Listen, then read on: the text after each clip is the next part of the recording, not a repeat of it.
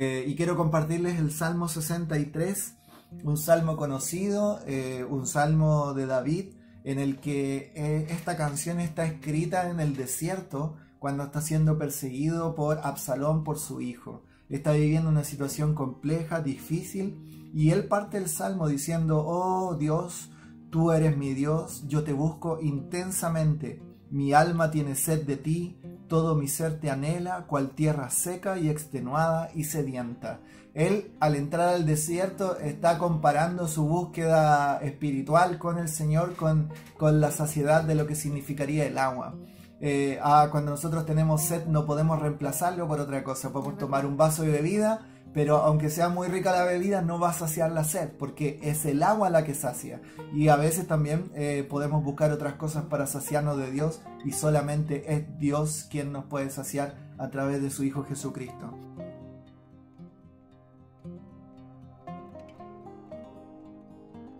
En este salmo vemos una progresión con respecto a una historia.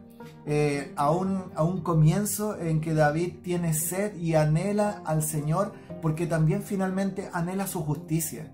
Eh, aquí tenemos varias cosas en las cuales David también comienza a recordar tiempos o momentos antiguos de antaño en las cuales, por ejemplo, en el versículo 2 dice que le he visto en el santuario y él está recordando de la presencia, ha contemplado su poder y su gloria en esos tiempos donde él alababa al Señor en el santuario. Entonces, él en ese momento se recuerda que el amor de Dios es mejor que la vida misma. Y qué bueno es poder recordar en medio del desierto, en medio de la necesidad, las experiencias que hemos tenido con Dios, porque Él ha saciado nuestra alma, Él ha estado con nosotros y Él ha dado la salida a cualquier situación o dificultad que podamos tener.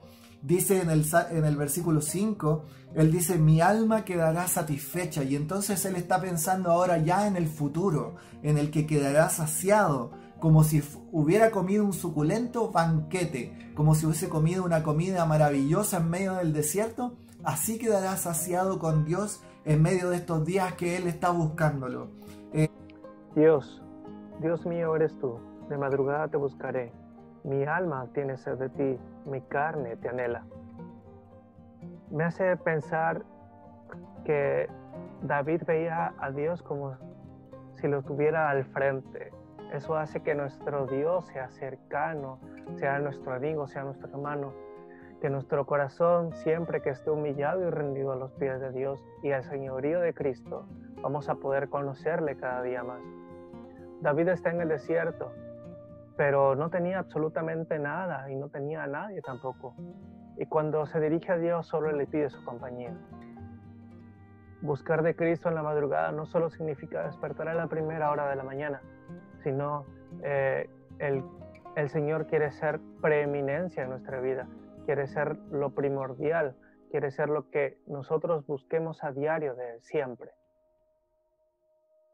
Nuestra carne debe anhelar más de Dios, y despejarnos del viejo hombre para ser revestidos de Cristo. Que veamos que en este mundo no hay nada más que tierra seca y árida.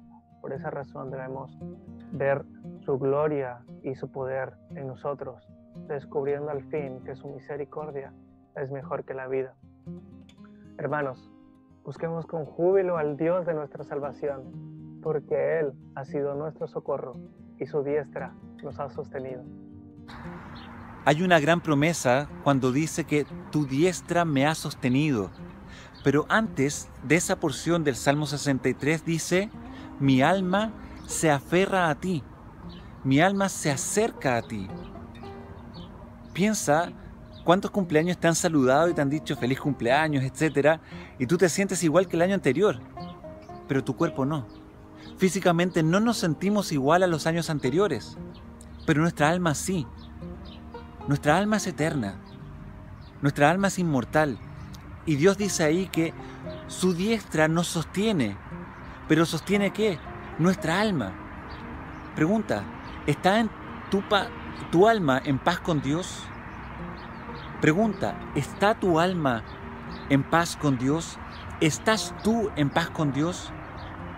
Porque aquellos que tenemos paz con Dios dice que su diestra nos sostiene. Dios sostiene tu vida. Dios sostiene tu eternidad. Dios sostiene tu corazón, tu mente, tu alma, tu persona. Dios es quien nos sostiene. Y si Dios nos sostiene, ¿podremos ser derribados? Si Dios te sostiene, ¿puedes ser sumido en la tristeza? De ahí viene la palabra desánimo, cuando nuestra alma está hasta el polvo, está lo más bajo. Dios quiere levantar tu alma y guiarte para que vuelvas a tener reánimo. Dios quiere volver a reanimarte y que tu alma sea levantada. ¿Por qué? Porque Dios te sostiene.